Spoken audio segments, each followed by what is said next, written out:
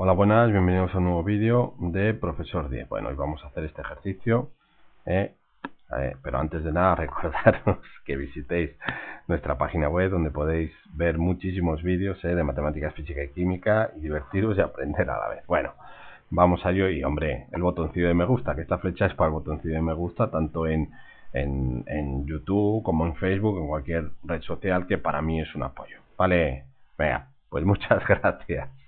Bueno, vamos a hacer este ejercicio. Vamos a hacer ejercicio 5 que dice ¿cuál es el pH de una solución de HCl 5 por 10 a la menos 3 molar? Bueno, en primer lugar, ¿el HCl qué es? El ácido clorhídrico, ¿verdad? Sí, ácido clorhídrico. Venga, muy bien todos. Entonces, el ácido clorhídrico. Luego el pH va a ser ácido. Sí, nosotros sabemos que si el pH menor que 7 es ácido, ¿verdad? Sí. Si el pH es igual a 7 es neutro. Sí, y si el pH es mayor que 7, es básico. ¿Verdad? Si es un química, el que estudia biología, otras historias habrá, pero en química es así, ¿vale? Bien, entonces nosotros, claro, es un ácido, pues este es un pH básico, un pH neutro, y este es un pH ácido. Hombre, no hace falta hacer nada, ya sabemos que la opción C. ¿Vale? Bien, venga, pues nos vemos en otro vídeo.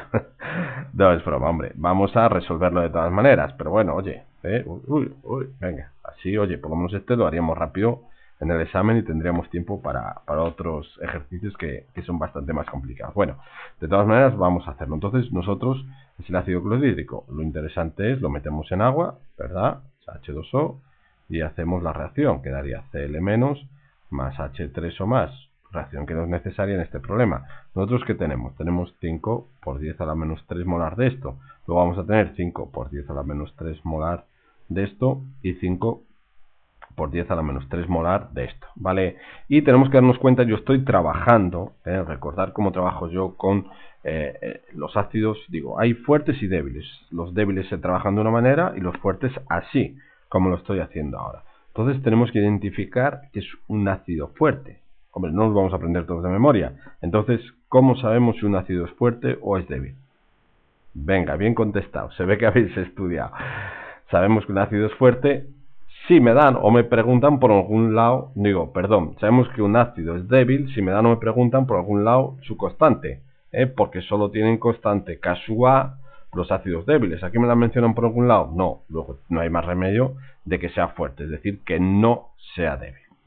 Bien, ¿seguro? Venga, pues vamos a ello. Venga, va a cambiar el azul, ahora que cambiar. Entonces ya tengo la concentración de H3 o más, luego pH es igual al menos logaritmo de la concentración de H3 o más menos el logaritmo de 5 por 10 a la menos 3 y tiramos de calculadora ya que no sabéis cuánto me dio. Pues me dio ni más ni menos que 2,3. Luego teníamos razón y la opción correcta era la C.